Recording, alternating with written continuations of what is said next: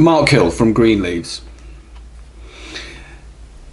If the Labour Party decides to replace Jeremy Corbyn as leader, then it will be an indication that Remain have truly won.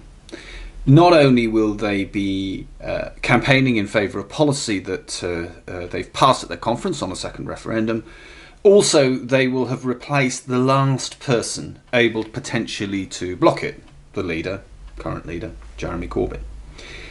This will place Labour very firmly in the Remain bracket, and yet Labour's vote is from constituencies that are very divergent. They are not all Remain constituencies, although those Labour supporters frequently, um, who, who have become members, frequently do live in Remain constituencies and therefore get a warped view of what the Labour's voting position genuinely is.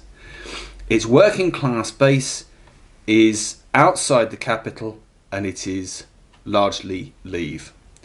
And disenfranchising those people will, at the very best, lead the, those voters to uh, decline to participate. I imagine the voting results from the most leave voting uh, Labour constituencies will be quite poor, which will make them vulnerable to attack, particularly from the Conservatives.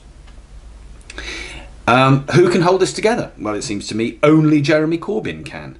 He is very popular amongst Labour leavers, and uh, his popularity could easily um, transcend the difficulty that Labour leavers have with his overall party and his party manifesto offer, particularly on the issue of the EU. Moreover, Jeremy Corbyn needs to be the person who leads the Labour Party into the next general election because if it's a defeat, it's got to very clearly be a defeat.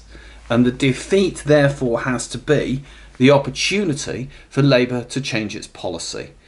If it runs into a general election arguing for Remain and that policy is defeated, it then gives Labour the opportunity to change its mind, to change its policy, to change its offer to the whole country in the national interest, and expect to be able to uh, argue that new case for the next five years, uh, a period of political dormancy, uh, while it rebuilds its electoral base my own party, the Green Party, needs to go through the same sort of catharsis.